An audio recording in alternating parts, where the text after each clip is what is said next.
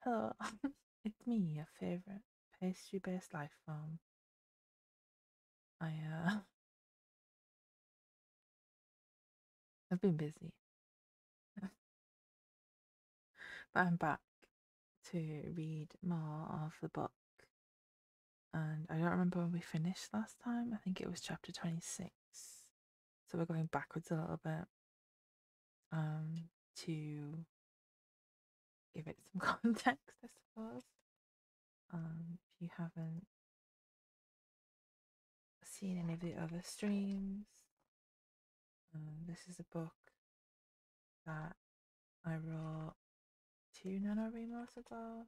NaNoWriMo's National Novel Writing Month. Um,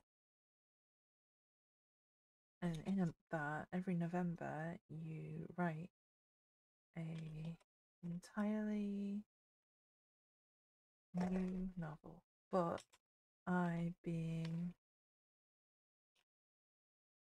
a rule not follower. um, sometimes do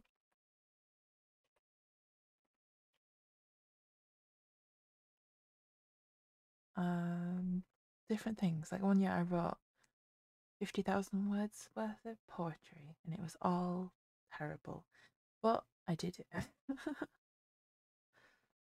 and it wasn't all haikus either. Of having to do fifty thousand words worth of haikus, that's truly a horror story.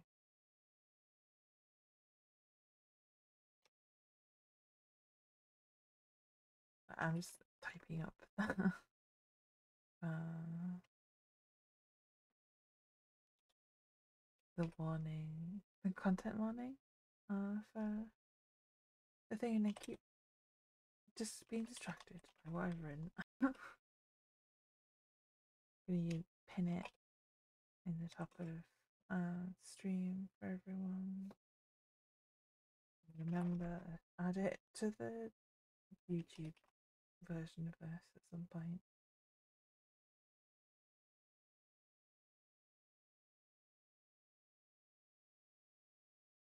But essentially, we're a guy who died eating noodles whilst trying to play his favorite uh, MMORPG and woke up in the body of a god that doesn't have any followers because he's been um, dead question mark for too long.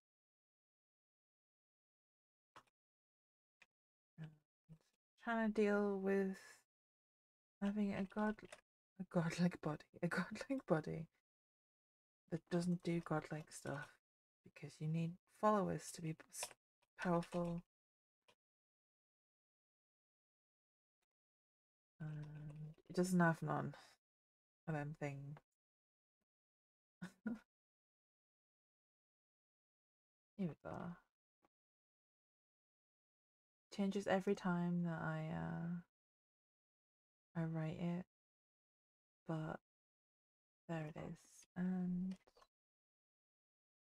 here is the link to read it if you want to read it on the hellscape that is Wattpad in this year of our Lord 2023. And I had to think for a second what year. There's not much left of 2023, but uh, it still is 2023. I don't remember what we're up to in the uh thing because my brain at the moment is busy full of NaNoWriMo things. I'm writing another story as we speak.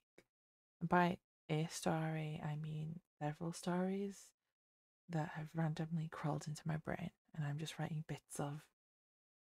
Because nothing's really like. When I started writing this one, it was just like, here was the story. I just started writing, my brain was like, mm hmm, here's the story. It's right from the beginning to the end, and you're fine but um, did not happen with this year. This year it's a bit um, there's one like main story, and then my brain is like, here's some fun fiction ideas. Uh, that you need to write right now. And then, uh, I don't know, I started writing a space story at some point. Uh, I think that I only have that on, uh, in a Google Doc. Everything else I've like handwritten because I am uh, insane. Uh, arguably always have been. But you know, that's that. uh, anything else I need to tell you? Hmm. There will be a stream tomorrow morning if I am awake to do it. It's uh starts at it's nine my time, so it's GMT till eleven, and then I leave you. uh, usually it's some sort of art or craft stream, uh, and then Friday we're gonna play. I nearly said Harvest Moon. It's not Harvest Moon. It's Stardew Valley. We just, I think we just got in into summer, or we're just about to be summer. I don't remember. It's been a while since we played because I was not feeling it last week. Um, I only streamed the reading stream on a Wednesday then. Uh, sometimes your brain just uh is is be doing its neurotypical its neuro atypical thing. Um, also known as neurodiverse. Neurodiverse. Neurodiverse. Being neurodiverse is uh it's fun sometimes. Sometimes it's not fun.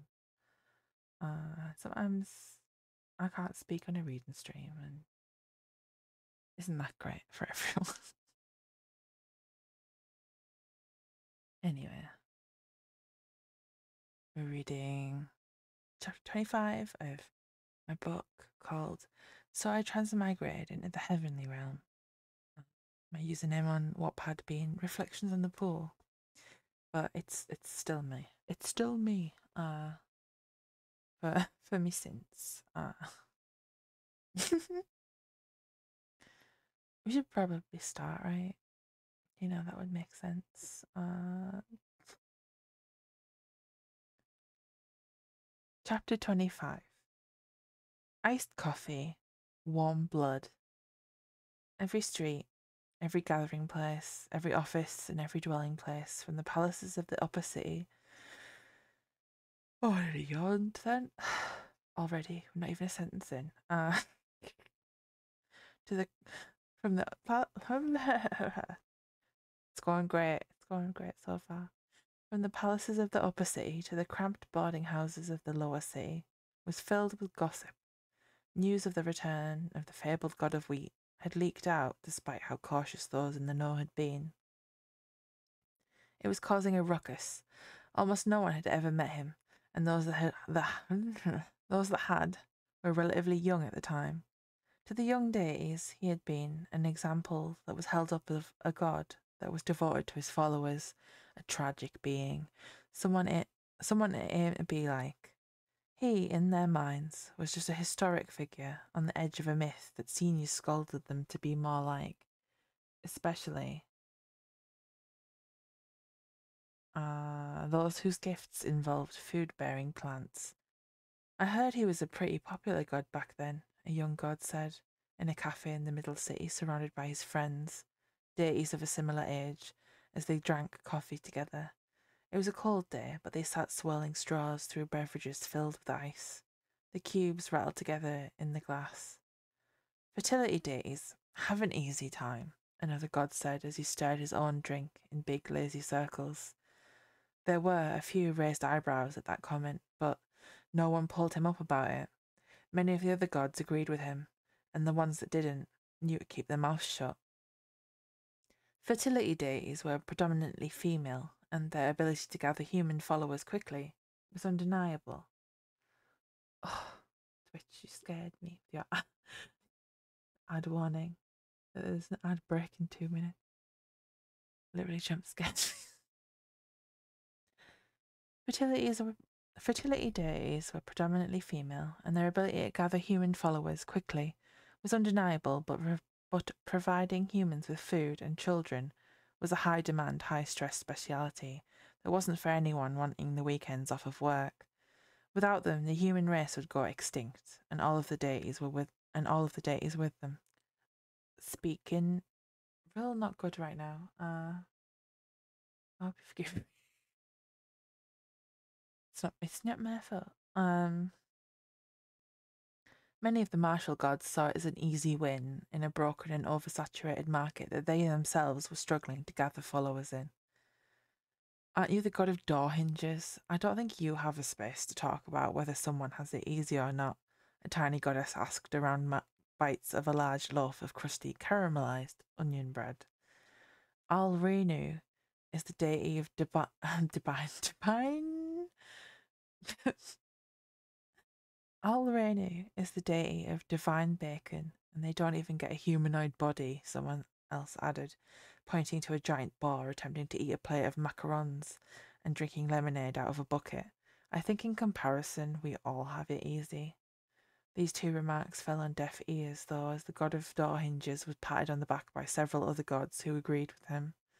Why are you acting so sensitive? Are you on your period? You don't even have a calling or goddess of all the other things we don't know about yet he sniggered, followed by his lackeys, as the rest sat in an uncomfortable silence or got up and left.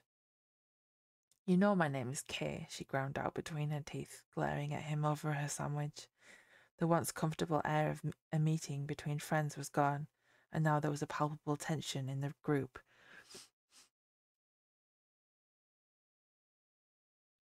Sorry, yawn.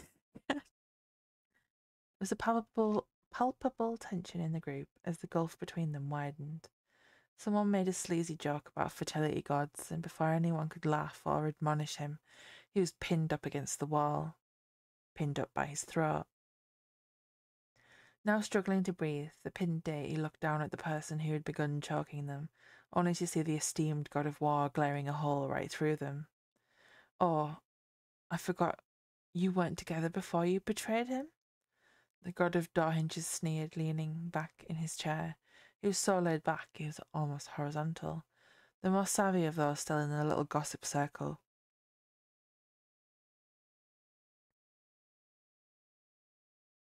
Fled at the look in Elgaldir's eyes as he dropped the jokester he was holding by the throat and stalked over towards the god, who shouldn't be feeling as comfortable as he was. The look in his eyes was chilling, Elgaldir was a sort of senior god that was very formal in his interactions with juniors. He, he could be seen as cold, and rarely was the type of god to attend social engagements, but he was never visibly this angry in public. For a martial god, Elgaldir was usually the poster child for restraint. Only one topic could set him off like this, and the vast majority of residents in the city weren't stupid enough to provoke him. Though his physical body was standing there, right in the cafe in the middle sea, his mind had been taken back in time to the Battle of Windblown Tears, a flashback to a much worse time. It was the night where everything had changed, and not for the better. Images passed by his eyes. And you back you survived the outbreak. I don't know if I did that. Though his physical body was standing there in that cafe in the Middle Sea, his mind had been taken back in time to the battle of wind-blown tears, a flashback to a much worse time. It was the night where everything had changed and not for the better. Images passed by his eyes, more a collection of obscure paintings than a movie. They were the shards of pieces of memory moving past each other like a kaleidoscope perpetually rolling. Like a kaleidoscope perpetually rolling, mixing memory and a nightmare into a soup of broken fragments. In front of him, the former god of war died, killed by the emperor of the demon realm, who laughed whilst he did the killing. Bulmar's face smiled at him, the sick smile he'd seen so many times before. Elgaldir was holding a sword. It wasn't his sword, the way it was different. It was the god of war's sword, and now it was his sword. He was the god of war, he was the god of war now, and it felt wrong. Nothing felt right. Elgaldir's head felt like someone had split it in two with an axe, and maybe they had. He didn't remember. He was plunging the sword through the unprotected chest of Dethos. Dethos's face of ultimate betrayal looked up at him, big wide eyes and pale lips parted in shock. The golden blood of his, its protector sprayed over the equally golden wheat surrounding his feet. The realization of what had been done hit Elgaldir again. There was nothing he wouldn't do to go back there and save him. Save Dethos. He was shaking. Save Dethos. The smell of blood was too strong. He couldn't save Dethos. Mini theatre. Scene. Martial God Sensitivity Training 101. Remedial class. Teacher. So what do we think about fertility days now, children? Martial gods sitting uncomfortably. They perform a critical service for the mortal world and we should consider them as equally important as we are. No one in the heavenly realm or the underworld has an easy job. Teacher, so now I want you to write an apology letter to every fertility deity, Dethos the god of wheat, and to the god of war. Martial gods grown. It would take a decade of solid writing to write a letter to every fertility day. End of chapter 25. Chapter 26 Climbing out of windows and causing paper avalanches. After the unexpected meeting with the Emperor, Dax found that the level of security that he was surrounded with had noticeably increased. It weren't just the one or two guards at the gate anymore. Every time he tried to get a moment to himself to just be alone and maybe try to get some more information out of the system, someone would find him and hover around in the background. He hadn't thought that he would find the orb more appealing to talk to than an actual person until now. It seemed that no one could hear System speak or see it flying around with him, but that didn't mean that Dax wanted Dethos to be misunderstood as talking to an invisible thing either. People already seemed to think he was crazy. Being followed everywhere was definitely starting to become annoying fast. Dax could understand that they wanted to be supportive and to keep an eye on him because he was so weak right now, he also understood that the previous owner of the body he was inhabiting had been killed by something, and that it was tantamount to a miracle that he was here and walking around again in the land of the living.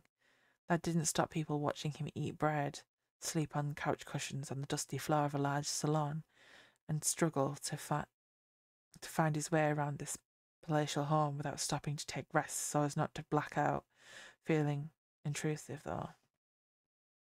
If they're going to be here, he thought, they might as well do something actually helpful.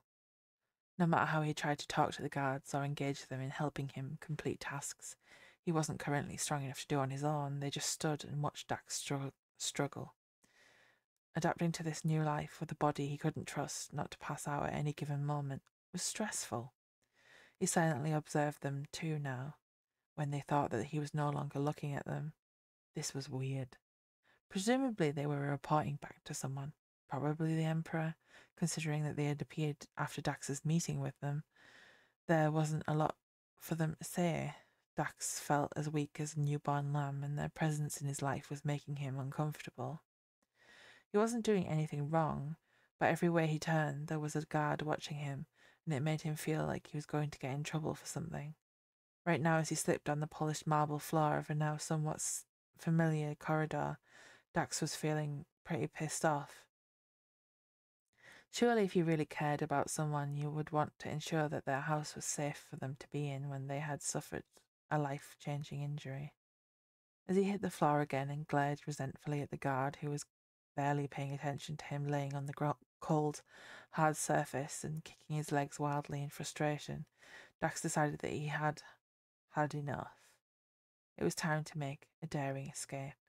He sprang to his feet with new-found energy given to him by his anger, determined to break out of the routine that he had found himself trapped in. Dax put on a big show of being tired, yawning dramatically, and alternating between squinting and rubbing his eyes for several minutes before declaring loudly that he wanted to go to bed. He still hadn't found an actual bed yet.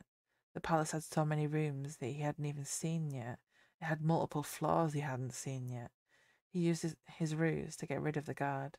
Apparently, they had decided that watching him sleep wasn't necessary anymore. Having someone watch you whilst you were asleep was incredibly creepy. Then shimmied open the large wooden sash window of the salon he was currently using as a place to sleep. It was heavy, but he didn't but it didn't stick as he had worried it might do. Some of the paint flaked off of the timber as he did so, but Dax swept it into the corner with his foot along with all the other dust. Using an overly ornate looking green velvet sofa or maybe a chaise longue as a footstool, he climbed up to the windowsill and escaped out into the night. The garden was dark, lit only by small lanterns and the golden glow of several abnormally large moths sitting on the plethora of open camellia blossoms. As he crouched between two of the densely flowering shrubs, trying to regain his breath and plan on how to get out of here without being seen or disturbing the moths, Dax really wished that he had fa- that he had his phone with him to take a picture. As far as he knew, he couldn't have been here for less than three weeks, and this was the first time that he had truly had the luxury of taking a look around. After moving in, he hadn't been physically strong enough to do more than look ar- around a few rooms on the ground floor and walk to and from the gate to get his food delivery, and recently there had been the constant mon- monitoring. Even then, he was still relying on being able to rest every few steps. Dax didn't want people thinking that Dethos didn't know his way around his own home. The system and he had talked about it extensively. It was better for people to think that he had forgotten people and events rather than his entire job as a god. Dax had tried to sweet talk a map out of the, of the palace out of the AI helper, and it had refused, stating that it thought that was cheating. Cheating will result in a fine of 100 points, it helpfully had informed him. Right now, he didn't have many points to lose, but the upgrades that he was saving for were vital in being able to not be murdered by a cantankerous, glowing, floating orb. It would be best not to invoke its anger, so they were taking priority. Right now, he had the chance to actually see what this palace had to offer. A building this large had to have a lot of interesting rooms. After all, the entrance hall was a dedicated personal bread museum. Who knew? Maybe there was an illicit butter knife museum in here somewhere. Dax finally felt ready to set out from his uncomfortable position between the two flowering shrubs and carefully squeezed beneath them. The cloud of glowing moths he had been worried about creating didn't happen. They were too busy feeding to notice being gently jostled. Dax walked slowly around the right side of the palace, marvelling at the sheer amount of flowers that had been squashed into the garden, and cursing whoever had decided that gravel should be what the path was made from. It crunched beneath his feet, feet, his feet, his feet, in a way that seemed like it might have a vendetta against him. There were countless windows. windows or windows? Windows. From windows. There were count there were countless windows at the gable end. There were countless windows at the gable end of the palace, but eventually he found one that was easy to open from the outside and close enough to the ground. We yawning? Close enough to the ground that he could actually climb in there. Pulling himself into a window, up into a window and climbing out of the window were both difficult, but at least this time there was a plush carpet for him to land on on the other side. It was a lot more comfortable to fall onto than pea gravel. The next few hours were spent walking in and out of various boring rooms and leaning on dusty formal furniture until he found a locked door. Potential plot development found, the system chimed, adding more points to his growing pile. It wouldn't be long before he could finally make a purchase and make his life here a little easier. The door itself was a dark, heavy wood, and although it had glass panels inset into it, they were made from frosted stained glass. So he was unable to see them, see through them into the space beyond. How very convenient, Dax thought as he attempted to peer through the glass. What is it? That's not system, that's him. That's him asking. What is it? he asked System, incredibly curious as to what lay beyond the locked door. This door leads to the prayer processing office. All prayers to Dethos, god of wheat, are reviewed here, System explained as it hovered close to the door, the light from the orb illuminating the coloured pieces of glass, revealing that it was a complex design of wheat swaying in the feed, in a field. In a field. There's a room specifically for that? Dax, Dax asked, amazed. He hadn't thought about what prayers actually looked like yet, or how he was even going to try to answer them. Though thinking about the sheer amount of rooms this palace had made it it made sense, he supposed. Can we get back in? As the lock on the door is attuned to Dethos, the weak god, you should be able to open it, the orb explained, shining its light upon the door handle in question.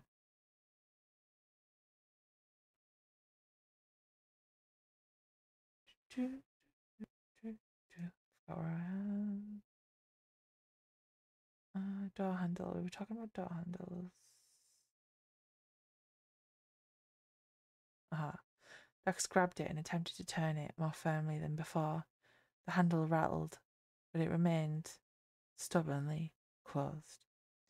Your god powers are very low. You might have to remain in contact with the door handle for a prolonged amount of time. System explained. Dax sighed. Nothing was ever easy.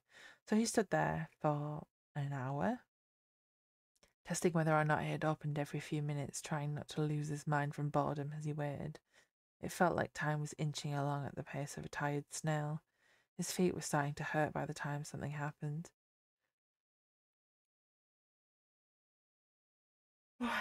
Eventually, though, the prolonged contact with the door handle actually did something, and Dax turned it excitedly. Once the handle was turned, the door practically exploded open. The sheer pressure of papers building up behind it almost knocked Dax off his feet, pushing him backwards several meters. They spilled out in a tidal wave across the floor of the corridor and into an, into an adjoining room. By the time the movement stopped, Dax was up to his mid mid calf in papers, scrolls, and letters. He picked up one of the many scrolls from the floor, unrolling it gently, not wanting to accidentally rip it. So many of the papers looked like they would disintegrate if some if even something so small as one of the moths from the garden landed on it. Despite not being the person that the prayers had been made to made to originally, Dax could feel the reverence that needed to be taken with them instinctively, not treating the prayers of people that had been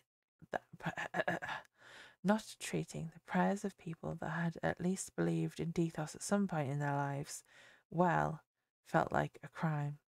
He was inhabiting his body, and he owed the god the respect of treating his believers and their prayers well.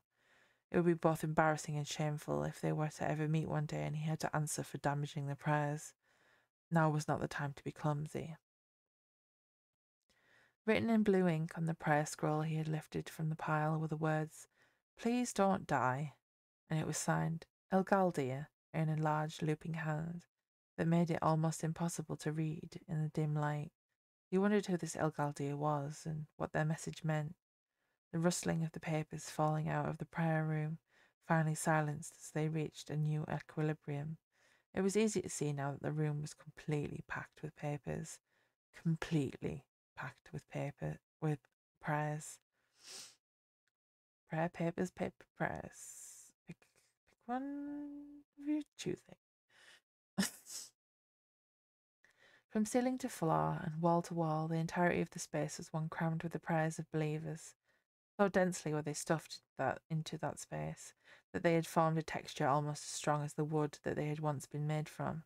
Dax brushed his left hand gently over the pa- papers jutting out of the solid mass at odd angles, and another mass of them fell out onto the floor, fanning in every direction, as if they were relieved to be out of there.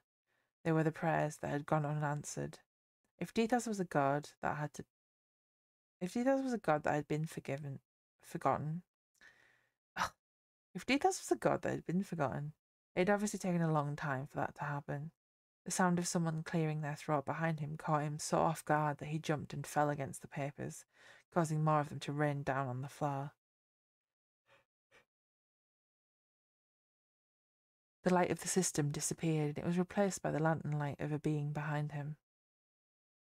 Dax stifled a scream in his throat, knowing that it would only bring more unwanted attention. He tried to shove whoever it was back, but their body was the body of a martial deity, and he was no match for them in strength nor size.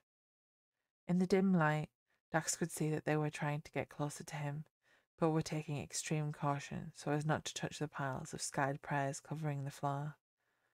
Only Dethos, or deities that belong to Dethos's household, can touch his prayers, System supplied before Dax could even think about how he was going to word his question to it. There is a big taboo about it, actually.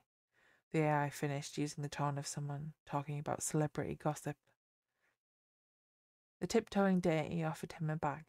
Dax looked at it and started stuffing the prayer papers into it as gently as he was able to, whilst also doing it quickly.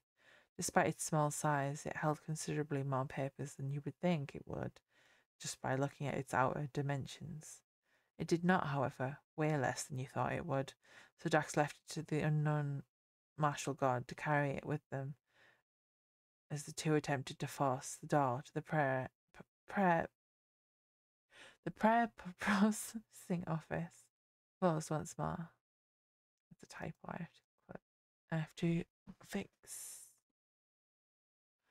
because this particular uh, person's not a god, but they were originally a god, and then I changed it. Uh, cleaning it, cleaning finally completed. Dax was escorted back to his room by the stranger, who placed the odd bag in the centre of the salon he was sleeping in currently. Dax lay in his nest of cushions on the floor and fell asleep almost immediately.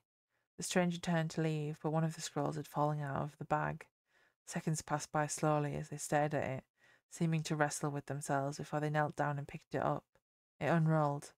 Written on it in large looping blue letters were the words, Please don't die, beneath which was the signature of the god of war. Minethia. Sister, Arthur, are you okay? Arthur, are you okay?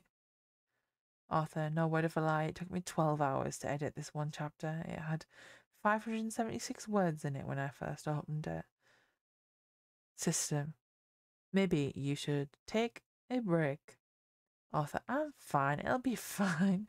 I'll edit it all before NaNoWriMo 2022. Arthur's not. That did not, in fact, happen. I finished editing this chapter on the 31st of the 7th, 2023. System. Dot dot dot. Truly, this was one of the the chapters that I hated editing the most because it had like 576 words in it when it was first uh, done, and then it got beefed up. Um, but you know, I'm in the position right now of editing this book where uh, there's a chapter in uh, four or five chapters ahead of where I am, where it has 183 words.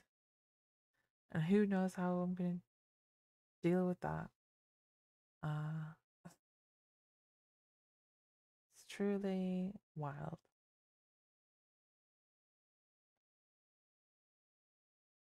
Truly, truly wild.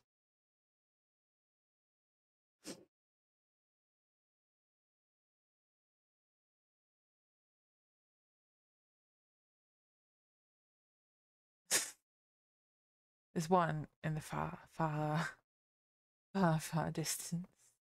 I keep. Uh, I have a spreadsheet of all the chapters and what like what degree of finish they are, and like whether they're uploaded or not. And there's one in the f- the far distance that terrifies me. So I see it, and I see that it has twenty eight words in it, and I'm like, what even is this? Why did I leave this this uh this horror for myself? Uh, you know, apparently one week I have to write like fifteen hundred words to make it a decent chapter. I'll just get rid of it, stick it to a different chapter. End of chapter 26. Chapter 27 Private correspondence. A bird call pierced the quietness of the night. It was rare that the upper city was this still. Every night there were at least two parties on the hill. With a god of grapes living here, it wasn't hard to find booze. Tonight, though, the streets were empty, even those that surrounded the Emperor's palace. High in the sky, a bright full moon shone its light through the thin, thin mist into the garden of a certain god of wheat. Gentle breeze ruffled the petals of the many flowering brush brushes. Yes, we all know a flowering brush. Blush. I don't know why I'm word not good today. Disturbing the glowing insects, drinking nectar from the flowers. Decorative koi fish swam lazily in a manicured pond, disappearing, reappearing between water, beneath water lily and lotus flowers.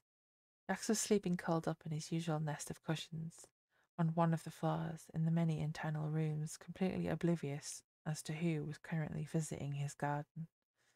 Someone had entered the outer courtyard, slipping past guards unnoticed. If he would have known, it would only have made Dax's annoyance at the presence of the guards worse.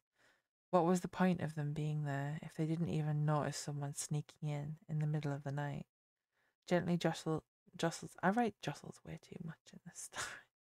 Gently jostled camellia flowers, dropped petals and blooms onto the grass and ground below. That someone was kneeling there in the gravel of the garden, no longer wearing his ceremonial armour, as he had been the last time he had been there. There's another typo. It was was. The someone was kneeling there in the gravel of the garden, no longer wearing his ceremonial armour, as he had been the last time he had been there, but a rather more casual outfit. I don't know, that sentence doesn't feel like it makes any sense. I probably have to go back and fix it. His head was bowed, and tears spilled from his eyes into the gravel beneath him, tears that disappeared amongst the stones. He kneeled there in relative silence for some time. The god of war's head shot up at the sound of crunching gravel as someone came up behind him.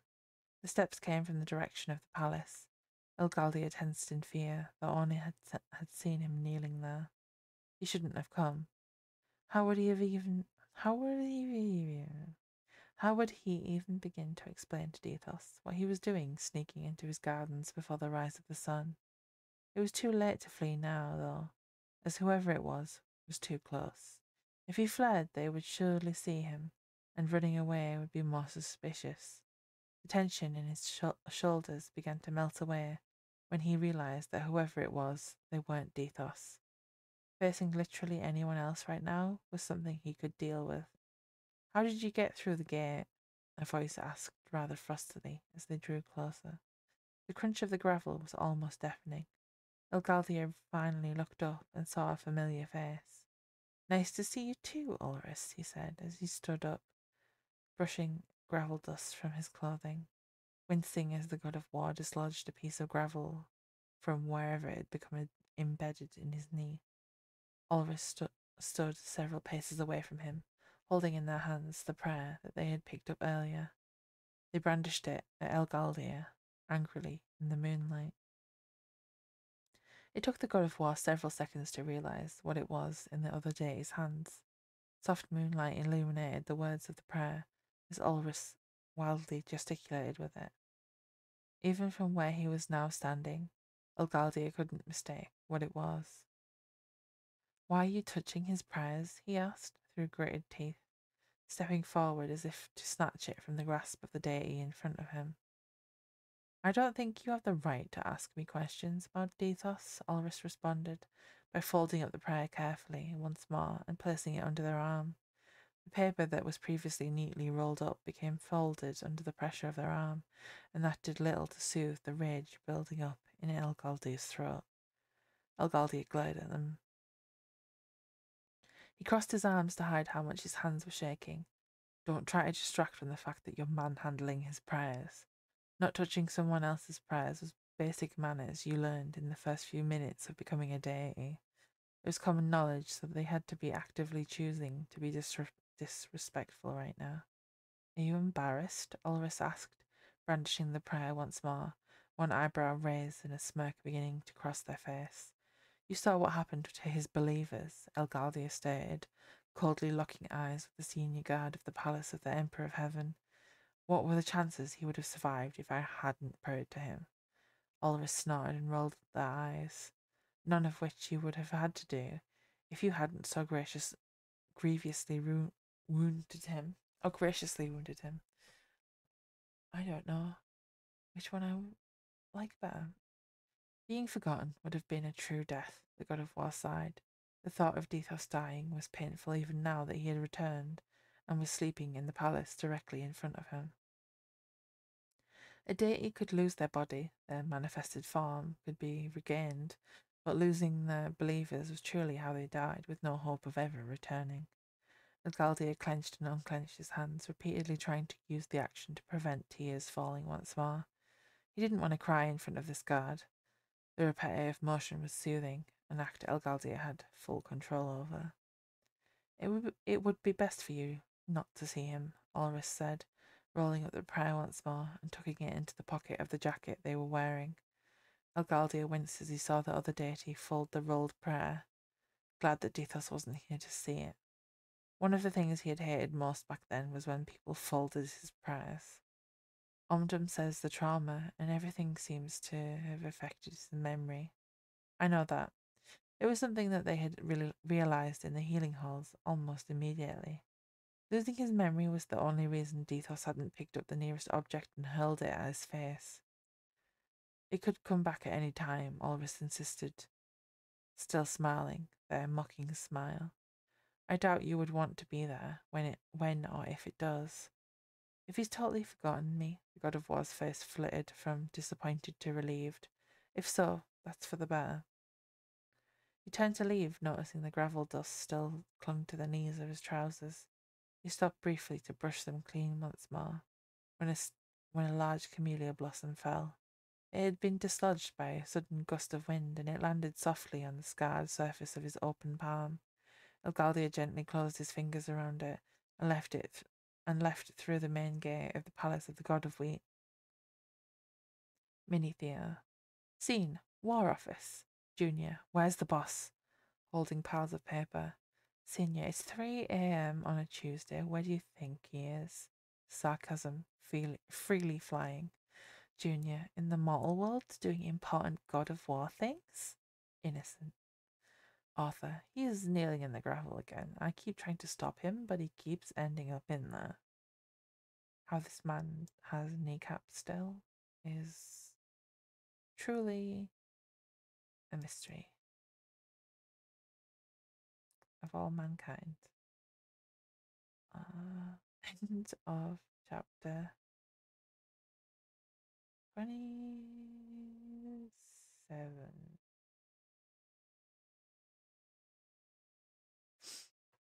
We love when Wattpad doesn't load the next chapter you.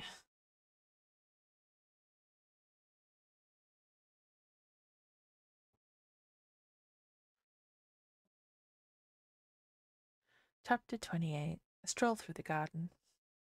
Dax walk early in the morning. The, pon- the, the pain in his back had woken him up. Jumping out of a window, rolling around in gravel, and then climbing back in a different one had done a number on his spine. Gods weren't probably meant to suffer from lower back pain, and yet here he was cursing his decision to sleep on the floor. It was probably time to find an actual bed in this place, hopefully sooner than later. He didn't actually know why he was still sleeping on the floor when there were uh, several couches littered around the place that he had already found. The cushioned seats would be more would be considerably more comfortable than the floor, no matter how luxurious the carpet was. It was a very sumptuous carpet, the sort of expensive carpet that made you feel bad walking on it. Yet for some reason, sleeping on the floor under a table whilst wrapped in blankets was more appealing to him. Dax's back might not be happy, but he felt safe there. No one had made themselves known as a threat. He was currently surrounded by guards, guards Dax trusted that he still had no idea Guards Dax trusted, and he still had no idea who he should actually be able to trust. Living his Dethos wasn't really getting any easier either.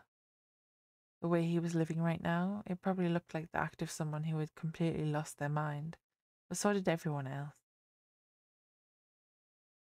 The looks people gave him, if they saw him eating, hadn't changed.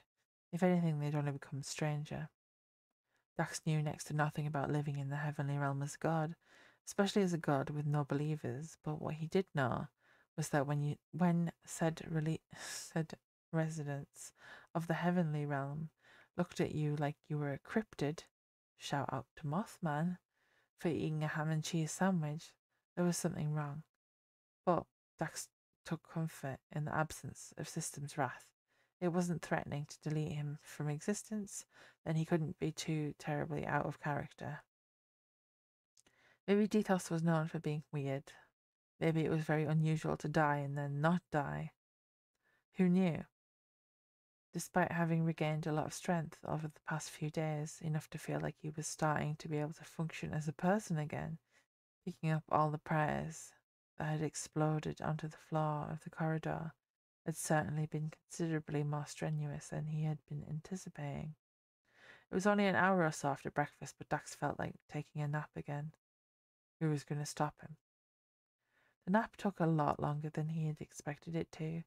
When he looked out of the window and into the garden outside, the sun was much higher in the sky than it had been when he had first awoken. Dax blinked at it, slowly rubbing the sleep out of his eyes with the cuff of his sleeve. He wasn't hungry again yet, so it couldn't be lunchtime yet, so there was some time to look around the garden in the daylight, with the sheer amount of flowering bushes stuffed into every nook and cranny. They were very obviously uh, objects that Dethos had been interested in. Without logic, the flowers weren't something that neither the guards nor the system could complain about him looking at. After quickly running his fingers through his hair to make it look like he'd actually brushed it at some point over the past few days, Dax made a beeline for the gravel path. Well, as much of a beeline as someone easily fatigued could make, at least. Very soon, Dax was walking around the extensive gardens that flanked three sides of the palace, marvelling at the sheer number and varieties of camellia that were planted within. He'd seen some of them in his short trips to and from the main gate, but, it, but this walk brought to light Dethos's interest in the flower was more than what looked like a passing hobby. It reminded him of a distant cousin of his father's that grew a special variety of ornamental roses that he took to flower shows and competed with.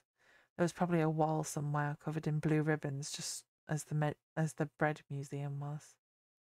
Before finding himself in this world, Dax had only ever seen camellia bushes with bright pink flowers. Here there were so many different colours, shapes, and sizes of them, it was almost dazzling. Petals littered the grass and the gravel paths alongside them, wherever they grew. As deep as autumnal leaves, but much more satisfying and, and alternatively upsetting to stand upon. At first, Dax had tried to avoid standing on them, but it proved to be bad for his balance. From seemingly nowhere, a guard had appeared at the side of him, steadied his position, and then disappeared into the bushes once more, as if they had never been there in the first place. It was quite disconcerting. He thanked them anyway. This gentle walk was both some exercise to help build a stamina for walking after the injuries and looking at the collection of flowers, but it was also a covert way of exploring his new residence. The palace was huge. It was one thing to skulk along at night looking for potential ways in, and another to do it in full daylight. He hadn't gone far, though, before he was stopped by the familiar face of someone who was now fussing around him for being out of the building. This was doubly annoying because literally none of the other guards assigned to babysit him were covered in the, were covered were bothered in the slightest. Ulrys. It was Ulrys. Dax wasn't happy to see the face of the deity who had rained upon his parade the night before so soon. If they hadn't turned up when they did, he might have been able to explore deeper into the palace and found an actual goddamn bed. It might not have been fully justifiable, but he glared at the back of the deity's blue tunic as they turned to give orders to guards still unseen. Can't a god have a little fun in his own home? Okay, so maybe it wasn't Dax's home, but he was puppeting around the body of Dethos, and this was his home. Upon Ulris's return, his mission to find more secrets was interrupted. Dethos, I was not aware that you had awoken, he stated in an, in an annoyingly corporate voice. I didn't know how to inform you of such, Dax replied, pulling a red, barely open flower from a nearby bush, twirling it between his fingers.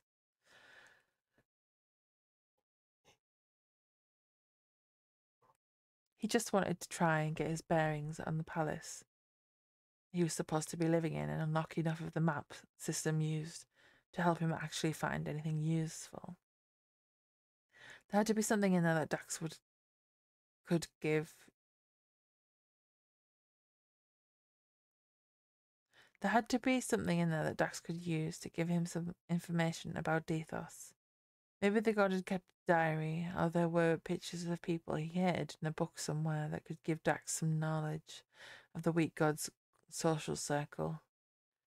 He decided that maybe it was best to return inside and wander around in there, looking for the room filled with prayers again. If only to avoid Ulris and not have to talk to them about last night. They couldn't stop him from doing his actual job now that he knew that that there were prayers waiting for him to answer them. At the very least, if they tried to do so, Dax wasn't going to let them.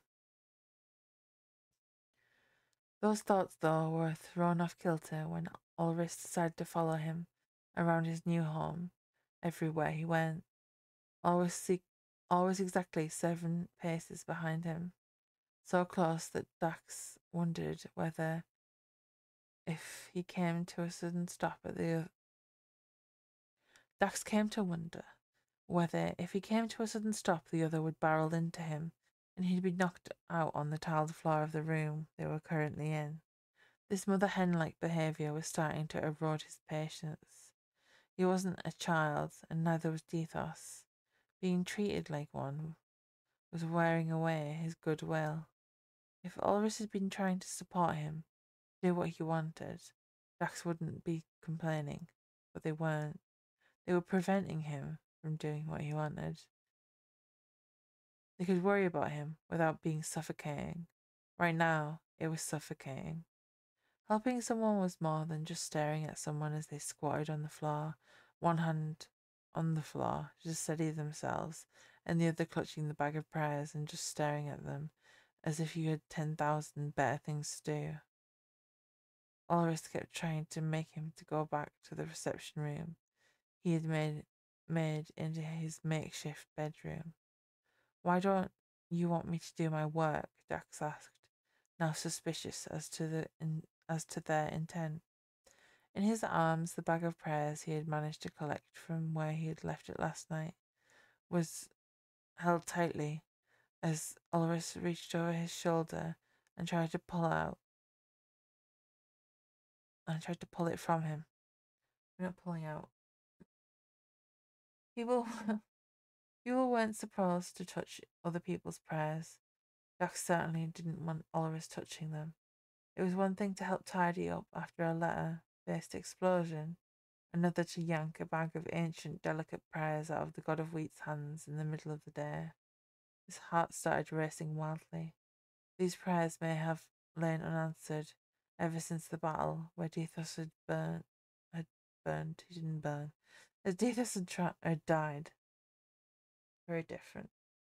But they were important. Someone had asked him for help, and he was determined to give what help he could, despite the years that had passed and no knowledge of how to do it. Ulris was worried, worried that worried that extended not only to Dethos's health and whether he was actually working would be detrimental to it, but also to the actual contest- contents of the prayers themselves. Finding the loose prayer on the hallway floor had been alarming on its own, but yet having come from the god of war was even more so. The fact that he had made the uh, prayer under his own name and not a pseudonym was alarming. Neither were assuaged when Ulris had met in the gravel of the outer courtyard Elgaldir, the god of war. In fact, the conversation that the two of them had had only raised more alarm in the guard from the emperor's palace. There was no way that they there was no way that there was only one prayer from Elgaldir. He definitely prayed more than once. Who knew what response Dethos would have to the words of those prayers? The shadows of the past were drawing longer and shining a light on events that were better off forgotten. Olorus had been tasked with guarding the god of wheat from the memories of that night by the Emperor of Heaven himself, that they hoped would continue to be their task for a while longer yet. Olorus thought that of the sheer mountain of prayers that they had stuffed right back into the prayer office of Dethos and panicked. There was no way they could quickly sit, sift. There's no way we can quickly sit through this. Uh, there's no way we can quickly sift through and lift the offending ones out of the mess before Dethos saw them. We're very concerned about your memory loss, a half truth that had quickly slipped past the guard's lips, meant to placate and appease. It didn't work. A small, angry, invisibly bristling god stood before them. Dethos had his back arched like an angry cat ready to pounce. Dax shook the bag of prayers gently. Within it, the paper they were written on rustled ominously, almost judgmentally. I'm a god. Aren't people's prayers important? he asked. Olorus sighed. This was true, and Dethos, insistence to work on his prayers was somewhat refreshing. Usually, deities complained about how much work answering their prayers was and tried to delegate it to literally anyone they could. It was nice to see someone not jaded from their own popularity among the mortals yet. The look on Dethos's face melted Olorus's resolve to ensure they followed their instructions to the letter. The guard's will caved. Okay, but one at a time. Don't over, don't overtax yourself. If Dethos was looking at them one at a time, that gave Olorus the time to think up a better plan for dealing with Elgaldir's prayers. There was no way that the Emperor of Heaven was going to keep everything from Dethos forever. Olorus decided that they were willing to risk this. They walked calmly out of the palace uh, not to shock him, and then ran like the ancient demon Barath was after them, leaving behind a very confused Dax in their wake. Benethia, Dax, just let me do my job. Emperor, no. Dax, please. Emperor, no. Dax, I'm going to do it anyway. Arthur, he is just going to do it anyway. End of chapter twenty eight. Um, chapter twenty nine.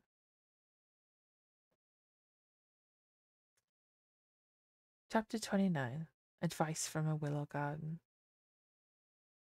The War Department was filled with people running in every possible direction, many laden down with paperwork, others delivering weapons and armour, moving it from one pile to another smaller pile. In the administrative office, various deities were discussing, arguing about whether Chainmail was going to make a comeback. Comeback. In the administrative office, various deities were discussing slash arguing about whether Chainmail was going to make a comeback. Between you and me, it's definitely coming back, but only in pink.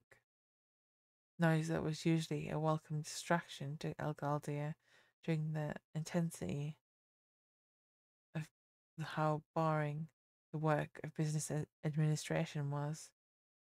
Right now, it was making it hard to concentrate on the prayers he was approving. Weighing heavily on his mind was the unexpected meeting he had with Olorus last night.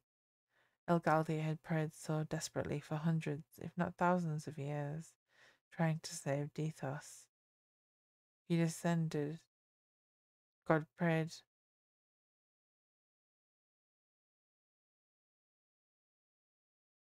Uh, brain, brain melts. Elgaldir had prayed so desperately for hundreds, if not thousands of years, trying to save Dethos. He tried his best to hide it from the other days. No said God prayed to anyone other than maybe the Emperor of Heaven or the King of the Underworld. Praying to another deity, let alone someone who had gained godhood at the same time as you, sounds pretty lame. He had sent his prayers out blindly in the hope that Dethos would hear them, that anyone with the power to help would hear them.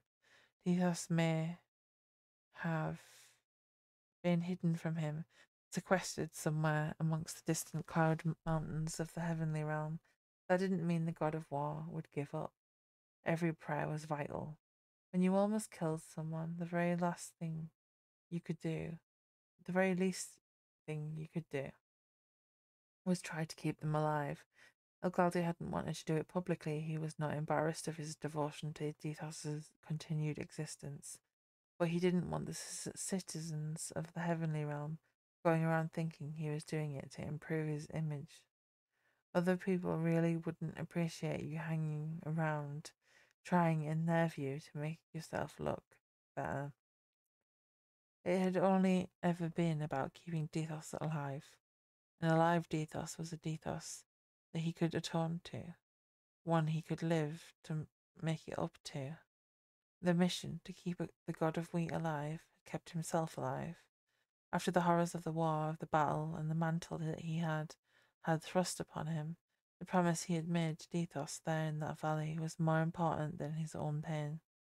That was the long and short of it. Elgaldir pushed back a stray piece of hair that had fallen into his eyes and looked at the intense pile of papers that's still there on the desk untouched. There really wasn't any point of being in that office today if he couldn't even sign papers. War wasn't something you signed off on without actually reading the documents. It was obvious that he wasn't actually going to get any work done today. He'd spent the last hour reading and rereading the same four paragraphs of a report, not being able to take in any of it. As much as he liked being as useful as an antique glass paperweight in the office, his staff would no doubt feel more comfortable without him being there, daydreaming whilst he half heartedly watched them go about their daily business. They were busy enough as it was without having they were busy enough as it was, without having to babysit him too. Time to make the executive decision to shirk his responsibilities and go for a walk. Maybe that would help him retrieve some of his focus. In Heavenly City, there was only really one place that you could go to if you would, if you truly wanted to be alone. Sure, he had his own living space, but that was attached to, to the, the War Department's office and he could only ever be so far away from junior gods with messages to pass along to him. For actual bona fide moments of peace, trademark, you had to go to the garden of Mother Willow. Beyond its gate of woven willow branches, it was always peaceful, she made sure of that. Willow trees filled the garden's expanses, their leaves rustling gently in the wind. If you sat beneath them in a pleasant breeze, you could imagine yourself cast out in a coracle upon the seas. Occasionally, one of the leaves turned a fitting autumnal yellow and would fall, rapidly spinning in the air before landing in the tall grass, carpeting the garden in yellow and brown. Soon they would all dry and be blown into heaps of crispy leaves that the children would play in, and then sodden lumps in the rain that would follow soon after. Many rare flowers and herbs grew here, so it was a popular place to visit amongst the days of medicine and beauty. It wasn't unusual to see Omdum walking around with a handful of mysterious weeds. Despite its popularity, the sheer size of the willow garden meant that it was very unlikely that you would actually bump into anyone here. There were many winding trails through the trees that lead to secret be- that led to secret be- beaches, secret benches, and mossy glades for solo contemplation. The view of the sunset here was unrivaled across the entirety of the heavenly realm. Even the Emperor couldn't boast a view as good as the ones in the garden from here beneath the willow trees. A lot of first dates and weddings happened here. It was a very romantic place, or at least it had been. Elgaldir stood staring at the gnarled trunk of one of the ancient trees, his mind beginning to wander back to the last time he had walked through the, the garden gate. Back then, he hadn't been alone. It had been summer, and the whisper of the leaves and the dew still laying in the moss pocketed meadow grass had tickled their toes and soaked the bottom of their robes. There were, sim- there were smiles and flowers in their hair. Normally, a martial day shouldn't be easily snuck up on, but Elgaldir was distracted, and Mother Willow was old, older than the hills. She knew how to disguise herself when she wanted to, and her powers were greater yet here in her own domain. What are you going? What are you doing here, moping around in my garden, young man? Mother Willow asked. It seemed to Elgaldir that she must have just sprung up from the ground. He hadn't heard her approach at all. He smiled at Mother Willow as she came to stand next to him on the messy path. He held gently in his hand. Held gently in her arms was a sizable dark furred rabbit, which she was casually stroking with her gnarled fingers. Elgaldir wondered whether she normally just carried a rabbit everywhere with her, or if this was a special occasion. It looked content to be held thusly, and around its neck was a thin white ribbon, upon which was tied a tiny bell, more like a cowbell than the one you would put on a cat's collar to stop it from eating the local birds. Each movement of the cat, the cat, the rabbit, made the bell chime, and Elgaldir was left wondering whether the rabbit would rather it not be there. The clanging had to get on its nerves. It also probably attracted predators. At his lack of an answer to her questions, Mother Willow gave him a withering look and asked him, You don't think that I don't know what's going on, do you? Elgaldir was brought back out of his rabbit based ponderings with a sudden jolt. Oh, who, me? he asked, trying his best not to look like he hadn't re- really not been listening. It was a valid attempt, but also a very obvious one. Mother Willow was not a deity that had been born yesterday. She was born in the time of the old gods, and to put it simply, she'd seen a lot of shit. She stopped petting the rabbit and gently placed it on the leaf strewn grass. As it hopped away, the bell chimed, slowly growing quieter and quieter until it was lost in the tall grass. With her free hands, she grabbed the shoulders of Elgaldir, turning him to face her eye to eye. You should go to him when the moon rises, she said. There was no ambiguity in either of their minds about who he was. That's when you will be needed, Mother Willow emphasized each word to ensure he picked up just how important this message was. Her eyes, normally a warm brown colour, were almost yellow. Her lips slowly forming around the syllable of each word. Before the god of word, the god of words, the god of war, could ask any of the questions these two statements had evoked in his mind, she was gone, lost once more among the willow trees. Mini theatre. Bunny one, I saw a massive bloke, a real big fella. Bunny two, a martial god. Bunny one must have been, he was huge. Bunny two, how big? Bunny one must have been fourteen carats high, seven carats wide. Bunny two, definitely martial god. End of this chapter. Which is chapter 29. We got three chapters left. Chapter 30 Paperwork Mountain. Dax now finally free to do his work, with a dining table chair in tow and a bag full of cheese bread twists. One of the guards at the gate had given it to him for lunch, reopened the door to the prayer office. Precariously stacked papers that he and Ulris had stuffed back into the room haphazardly the other day began tumbling out again. A veritable waterfall of paper that made Dax glad that he had chosen to stand behind the door and not in front of it. Once the mass had stabilized and no longer seemed like it posed a threat to swallow him whole, Dax sighed in relief. He was standing in the hallway, and the spilled papers were already up to his mid calf in depth.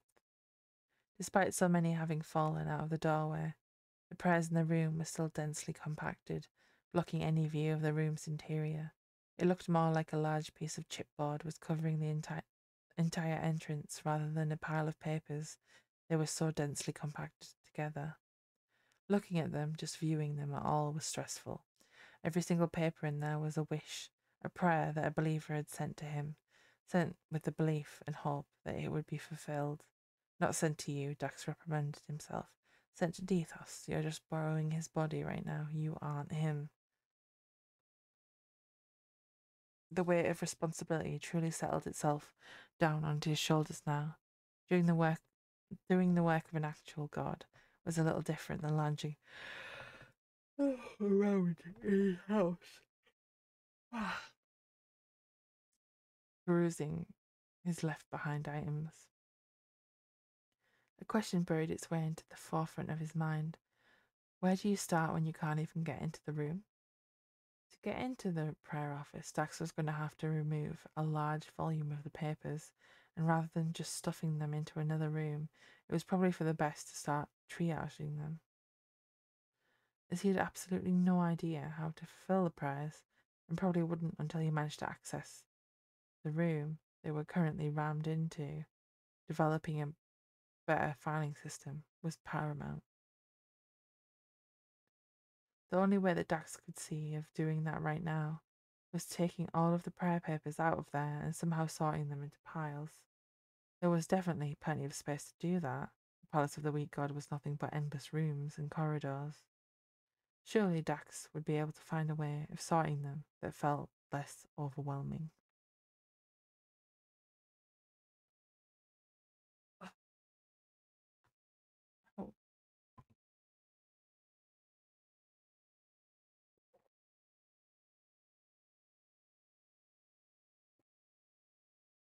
Oh, my throat. Really, uh, it's really doing a thing right now.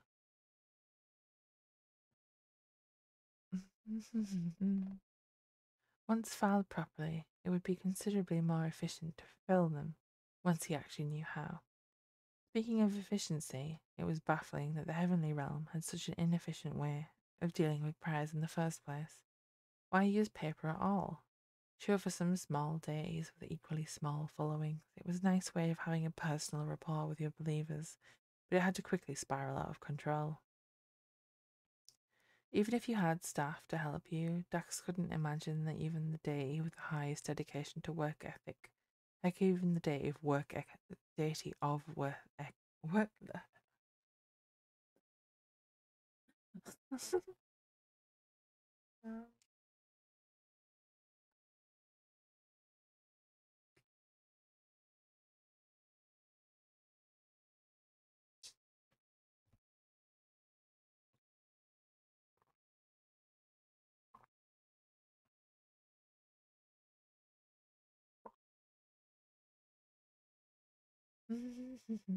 e-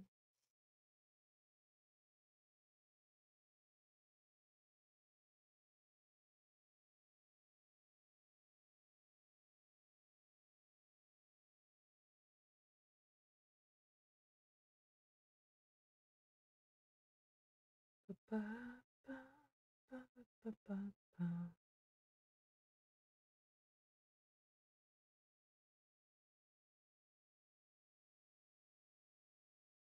Welcome back. You survived the ad break. I don't think my voice is surviving. Luckily, not many episodes left. Chapters, episodes, anything. uh-huh. Even if you had staff to help you, Dax couldn't imagine that even the deity with the highest dedication to work ethic, heck, even the deity of work ethic themselves, would become overwhelmed and burnt out with such an analog method. This was going to be something that he would curse colourfully about regularly in the future. Floor and table space within the palace was certainly sufficient for laying the prayers out. There seemed, so far at least, to be no end to the amount of rooms it contained, and Dax hadn't even been able to find a single way of getting to the first floor yet. Space was assuredly not an issue. Mechanical pressure and the sheer amount of time posed a larger problem in extracting the pairs. In the hours and days, if not weeks to come, there was going to be a considerable amount of delicate unfolding of fragile paper. So far, he had only been able to open one, and that had been terrifying. His hands shook just thinking about touching it. The God of War's prayer, Dax had read last night, was one of the more intact and structurally sound looking ones. At the edge of the papers that had been spilled out onto the hallway floor, Dax sat ready to start this overwhelming task. He picked up the prayer ne- nearest to him reverently and attempted to open it. He swore immediately as it began to tear along one of the folds. Digitize, he shouted into the emptiness of the palace. It was so loud that the guards paused, posted at his gate were startled and wondered whether they should come investigate what was going on in here. But in the end, they didn't dare leave their posts. Isn't there a deity of IT? Dax asked, frustrated, attempting to peel apart the layers of the paper as if it were made of butterfly wings, and even breathing on the surface would cause it to crumble into 10,000 pieces. He wondered whether he should be wearing gloves to do this, but decided that it would have made doing this even harder. There isn't a deity of IT, but there is a god of IT problems. He is called Rebootium, Lord of the Backed Up Hard Drive. System responded, finally making itself known again. Dax swore loudly in shock. He'd forgotten the system was still hanging around. He coughed, choking on his own spit, while said system looked on him, uh, look, looked on at him in judgment. It always seemed to think that he should be doing a better job than he was, but refused to explain what exactly it was that Dax should be doing instead. Several hours passed as he attempted to gather together, open, and read prayers. The bag he'd brought, filled with cheese bread twists, had been emptied, eaten, stuffed to the brim with processed paper prayer papers. All along the corridor, he'd made different piles to put them in according to the subject matter contained within. Dax had spent a great deal of time ferrying the prayers from the larger mass to their allotted pile with his bag.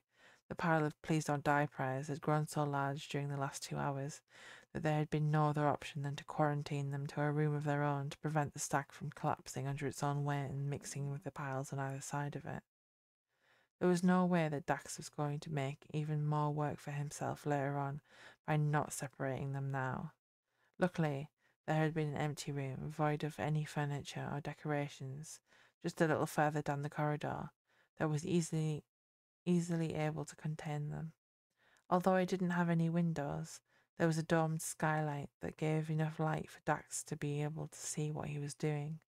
The god of war really didn't want someone to die, Dax pondered, whilst looking at the sheer chaotic mess of that this room had become. Wouldn't it have been better to pray to a healing deity or death god than Dethos? The pile in front of him should probably be multiple piles to give it some structural stability, and so he moved to rearrange it. To pray this many times, he must have really cared for whoever it was, Dax said, looking at the glow of the system's orb as he re- as he organized it into into individual piles of 100 prayers. There was no real reason for choosing this number, it just seemed like a nice round number. System's orb glowed, glow, dimmed gradually as he did so, almost to the point of going out entirely before it flared an almost red colour. That person was, is you.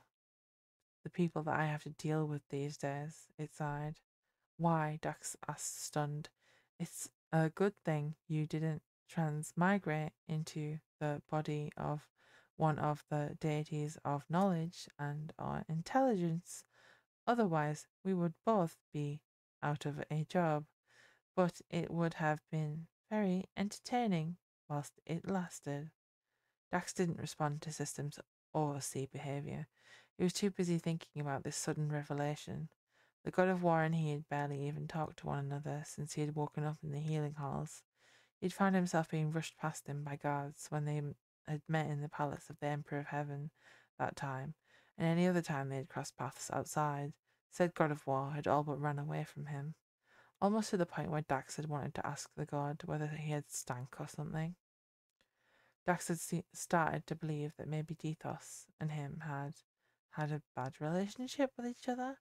The way other people were reacting was highly suspicious, and he reaff- and it had reaffirmed to him that something had definitely happened, though he hadn't wanted to ask about it too much in case that made people ask more questions out of, of the memory loss. So far, Dax had been politely acknowledging him whenever they crossed paths, but that might be completely out of character for Dethos to do. Maybe they had been on bad terms before he died.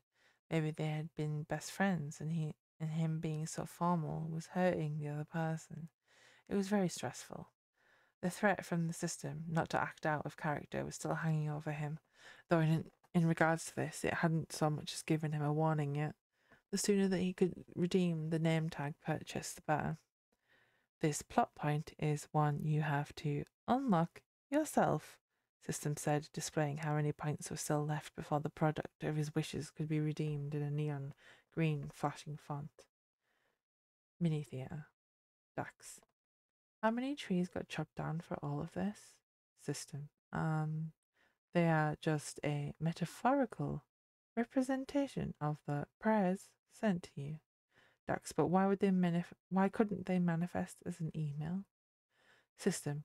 Does anyone ever read and answer email in a timely manner? Dax, I feel called out. System, you should. End of chapter 30.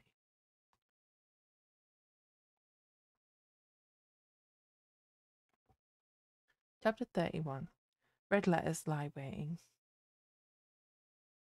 Dax spent a further two hours sorting and ferrying, ferrying, ferrying the prayers back and forth it was tiring work, and as he looked back at the mess of papers that were still covering the floor from uh, the earlier avalanche, he was once again hit with the sheer scale of the task he had undertaken. Maybe it would have been a better idea to fulfill them one at a time. There would probably be less of a mess, but he'd already started and didn't want to abandon the hours of work that had already been completed. He was finally overcome by the work when, as he walked down the corridor to deposit more Please Don't Die papers into their own assigned room. The gentle gust of air caused by his walking disturbed the prayers crammed into the prayer room. The stacked papers were so unstable that even this was enough to set off a second avalanche of prayers, which spread across the floor. Luckily, none of the carefully stored piles of prayers were affected, but seeing the clear areas of the floor that you had just uncovered filled back in again was disheartening. It felt like the two hours of work that Dax had put into being able to see the floor again had been entirely pointless. There were just too many papers. He looked at the open door and what lay beyond it. The solid mass of paper appeared as if nothing had happened, and Dax hadn't already processed thousands of prayers. It was going to take a while to ta- to process, Dax thought, as he waded back through the stacks once more, careful not to actually step on any of them. That seemed like it would be beyond disrespectful.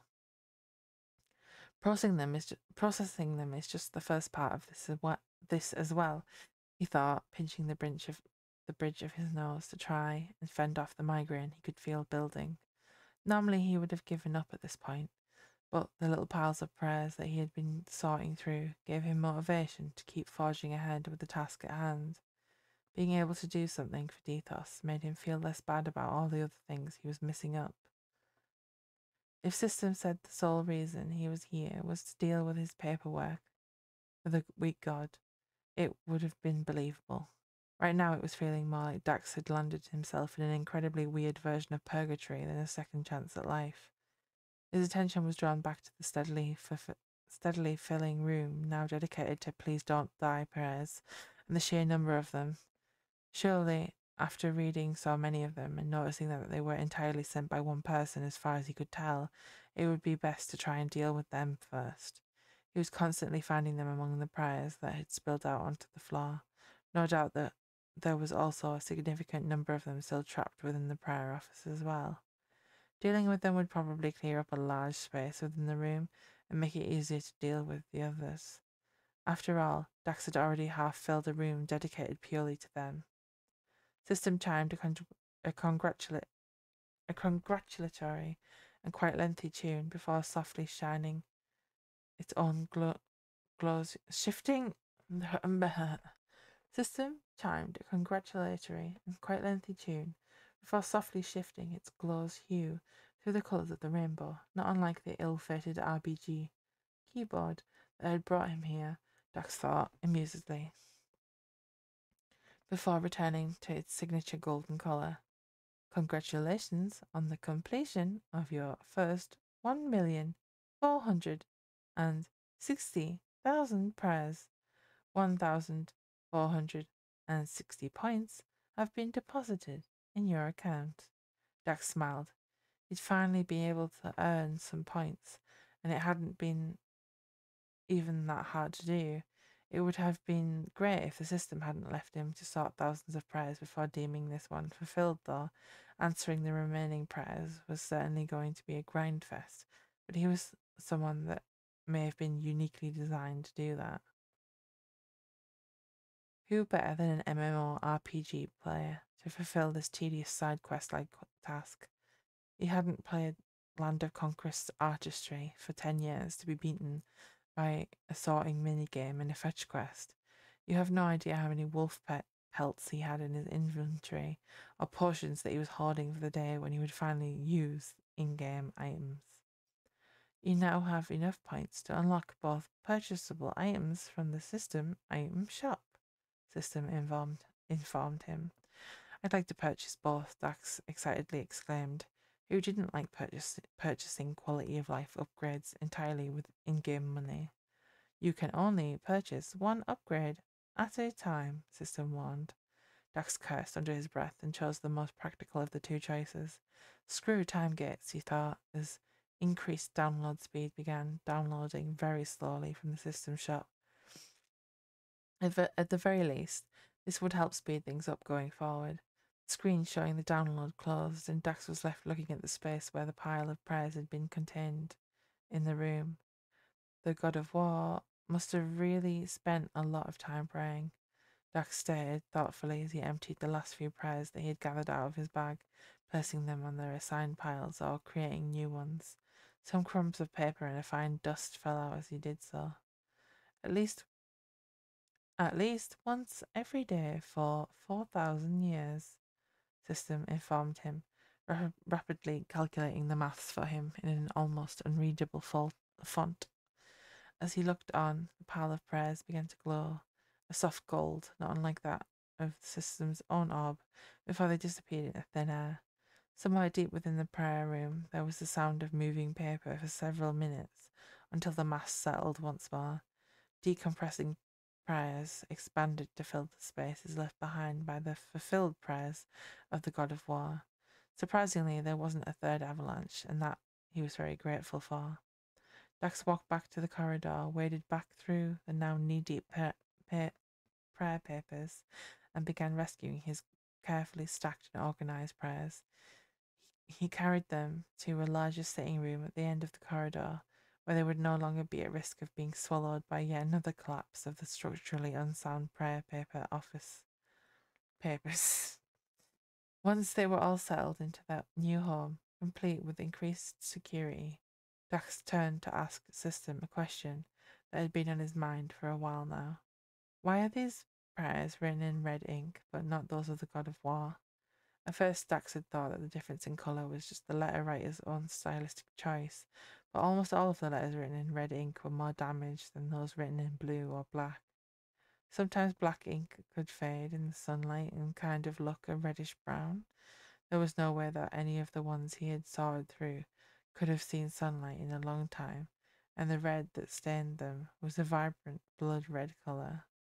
System was quick at answering his question for once after scanning the prayers in question with its optical laser.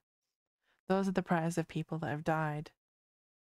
Dax reached down to the nearest stack and reverently picked up a rather battered looking one, as if it was made from bone china, before gently stroking his fingers over the red inked letters it contained. Can they still be fulfilled? he asked, thinking of the person that had waited so long only for their prayers to go unanswered in their lifetime, made Dax sad. Something like this must feel even worse if it's you that they're praying to, he thought. Yes, otherwise the paper it was written on would have disintegrated into nothing but powder or completely disappeared altogether. System informed him as he bobbed up and down, acting like it hadn't just said something truly heartbreaking. Dax looked down once more at the prayer he was holding, and just how damaged it truly was. Tears began to well up in his eyes. Even in death, these followers had truly believed in Dethos. Now all they had was him to attempt to prove that that belief had not been in vain, and Dax didn't know if he could do that. If the thought of the tasks laid before him hadn't been overwhelming before, this truly felt so now. Through the sitting room window, through the sitting room window, Dax could see the full moon rising as he sat amongst the pr- proof that Dethos had been loved so dearly that even in death his believers trusted that their prayers would be answered. Mini theatre. Prayer one, pick me next. Prayer two, who's gonna pick me? Prayer three, pick me, I'm more squashed. Pick prayer four, pick me, I'm more damaged. Prayer five, I'm on the actual floor right now. End of chapter 31. And last chapter, chapter 32. Moonlight Meeting. Under the light of the full moon, Elgaldir was using all the sneaking skills he had learned as a martial god to get into the palace of the weak god unseen. He wasn't known for his ability to scale walls, but it did come with the territory of his position, so no one could call him terrible eye either. Elgaldir had been warned by multiple deities at this point, specifically to stay away from Dethos, but Mother Willow had told him he needed to be here tonight. Her predictions were never wrong, and that was the driving force helping him to overcome his own fear of seeing Dethos, Dethos again. And I spelt misspelt Dethos in this chapter. However, she probably hadn't envisaged his method of gaining access to the property at the time. Right now, he was attempting to shimmy over a wall covered in thick, a thick layer of flower, a flower, a thick layer of uh, flowering vines. If anyone saw him right now, they would probably die of laughter.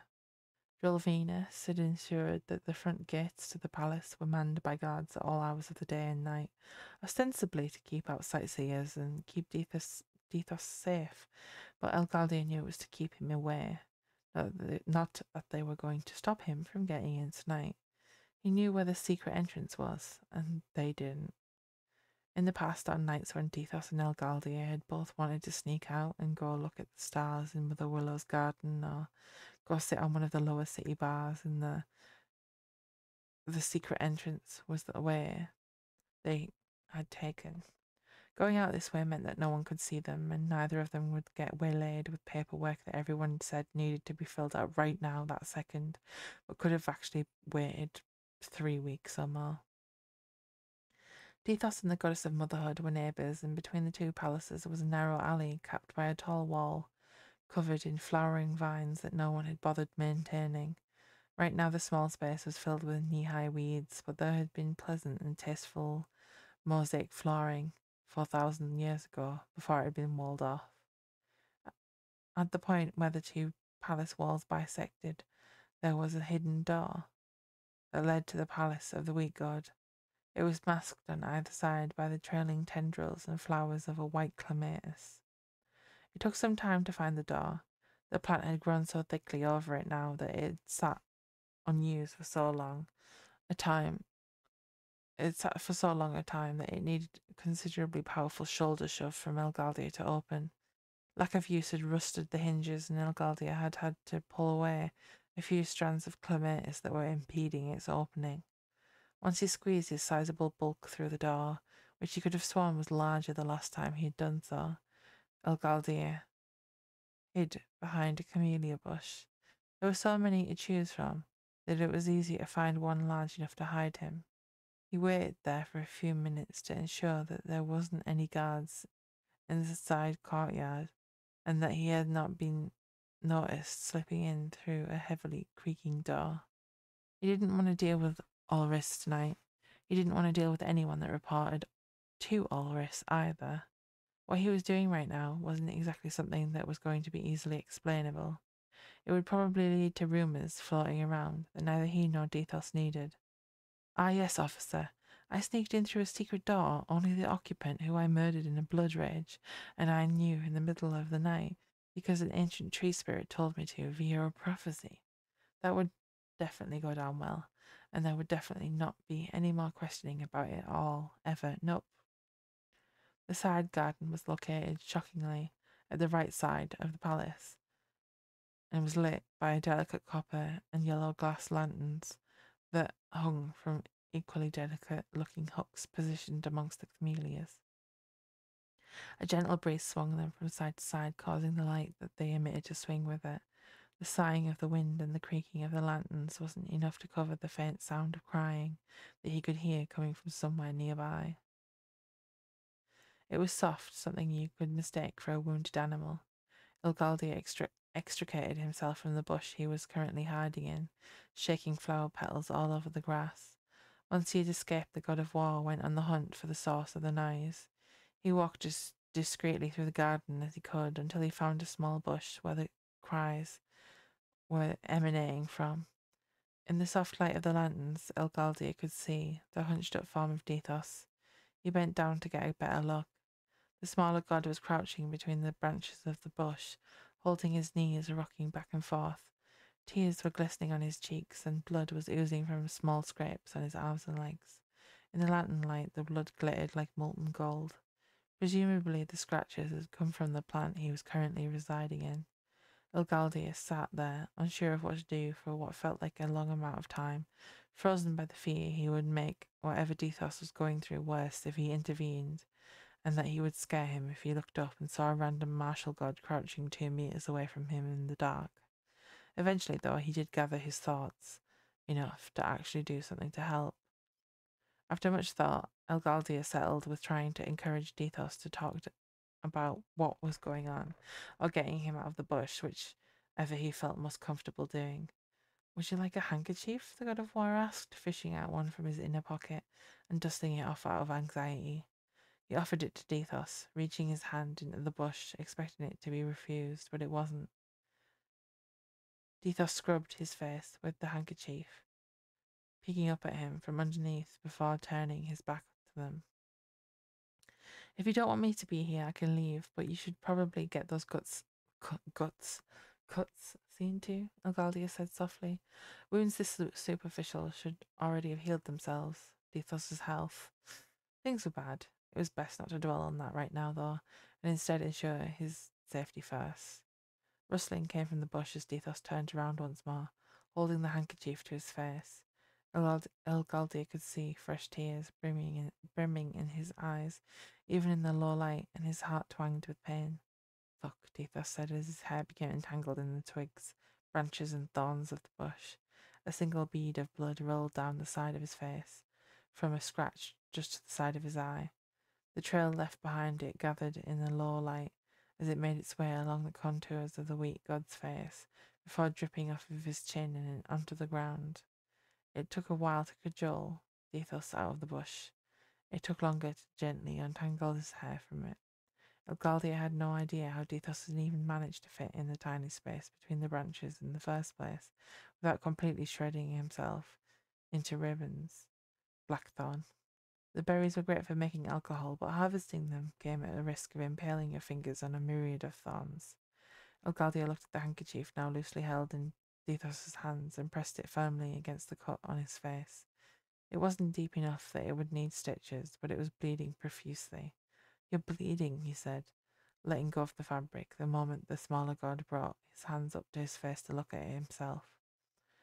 Elgaldir took a step backwards, aiming to give him some space whilst he scanned him for any other injuries.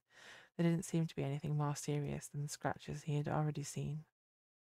Dethos's own hand reached out towards him, and for a moment the god of war thought that he was being handed back the handkerchief, but Dethos grabbed hold of him instead, not aggressive, not aggressively like he deserved.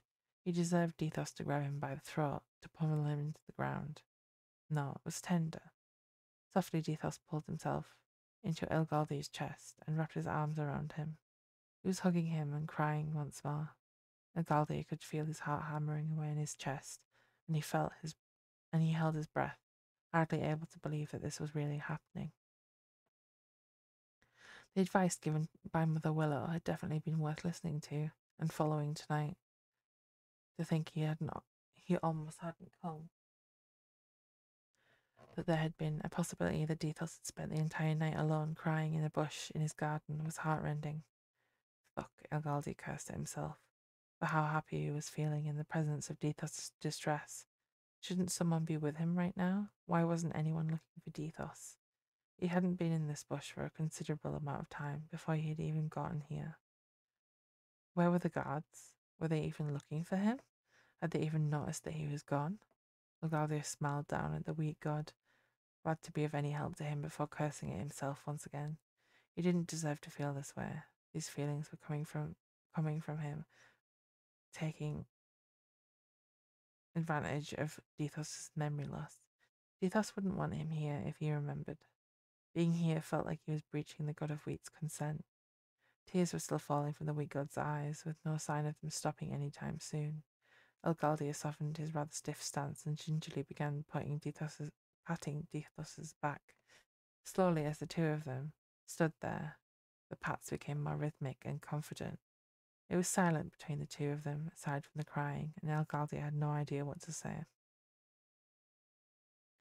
Right now, Dethos needed someone, and Elgaldir was the only person available. He could hit the god of war later if he wanted to. Increased affection from NPC character, system chimed out, once again cursed to only be heard by the customer it was attached to. What the fuck? Dax exclaimed loudly. He'd actually meant to think and most only say to the pesky system that had suddenly started tracking affection in a soft voice. Apparently, instead of that, he'd just screamed it at a man that had done nothing but help him tonight, and whom he was currently wrapped around. The god of war's patting of his back instantly ceased, and the god almost flew. He left his arms so quietly, quietly, quickly. Right now, the face of said man and its expression held a very convincing scalded puppy feeling to it. It made Dethos feel like he'd done something terrible. I'm sorry I shouldn't be here, Elgaldir said, rubbing his sweaty hands on his trousers vigorously. The more he wiped the sweatier they became. He apologized again and turned to leave. He didn't want to make Dethos uncomfortable. He didn't want any regrets with this Dethos. There were already too many. With the handkerchief given by Elgaldir, Dethos scrubbed his face, drying his tears that were still wet there. It looked like his cheeks were already sore from the salt contained in them, and though it was hard to tell in the dim light of the lantern, though it was hard to tell in the dim light of the lanterns, you're the one that sent all the prayers for me not to die, right? he asked, with eyes that were already so puffy and red. Across from him, the god of war was opening and closing his hands, gently trying to regulate his emotions, just holding himself back from hugging Dethos, who was hurting so visibly. He hadn't thought that Dethos would find his prayers so quickly.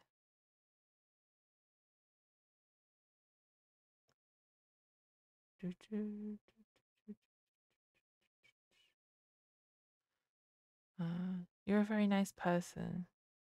Thank you. Thank you. You're a very nice person that spends so much time doing that, Dethos thanks him, while still dabbing his eyes. Galdia shifted uncomfortably from foot to foot, his face picking up a tortured expression as he tried to find his own words. You only think that because you don't remember what I did to you, he eventually choked out. It was almost a whisper, but the self loathing was very obvious in it. Dax, seeing this raw expression of self loathing, decided to throw out his worries of not acting like Dethos in order to comfort the gods standing in front of him. So he cracked a joke and hoped for the best. Well, I can't even die properly. I'm not even joking. If you were too dangerous to me now, why would the others allow you to walk around freely? Dax had seen the others the looks the other deities in the heavenly realm gave the god of war when they were both in the same space. He'd seen how he was rushed out of rooms Elgaldir was in, Surely, if it was actively dangerous to be around, no one would have let them meet each other again. There was also the possibility that the guards placed around him were just that bad at doing their job. A million prayers is a lot to send to anyone, Dax said. His joke had not been as funny out loud as it had sounded in his head, so he decided to pivot back to com- comforting words. He reached out to Elgaldir after seeing his own tears filling his eyes, poised ready to fall. Touching him felt like it would be too intrusive, even though he had grabbed hold of him so tightly before. So he held on to the other's sleeve gently between two fingers. I'm tired. You smell nice. You should. Dax fell asleep, standing up with the speed of someone flicking off a switch. The crying really had taken a lot out of him. In his sleep, he slumped forward, losing all strength in his knees. It took El, a few seconds to notice what was happening before he rushed to grab hold of him, before he fell to the floor. Now, with the weight of the other god in his arms, he lowered both of them slowly until he was sitting on the ground with Dethos in his lap. The moths that had been sitting on the bush were disturbed as the god of war's elbow knocked it, and their brightly coloured wings glimmered in the soft light. A petal had landed on Dethos' cheek, and Elgaldir reached hesitantly to remove it, but in his hesitation, a puff of wind that did the job for him. Min- mini theatre. Guard 1. Pretty quiet night. Guard 2. It's always quiet. I don't even know why we're here at this point. Arthur. It's to keep a certain war god out of here, but there was no way that was ever going to happen. Emperor of Heaven. Why are my entire staff incapable of keeping the war god out of anywhere? Arthur, Because you're sending a zooplankton to fight a whale. End of chapter 32. and that is where we're ending for today. Mm. I hope oh, you enjoyed the stream. Tomorrow's early stream. I'm gonna do some sort of craft, probably crochet. Um, maybe digital art. Who knows? Who knows what's going on? Uh, stay safe out there. Don't remember scissors. And I'll see you whenever you turn up again. Bye bye. Bye bye. Bye bye.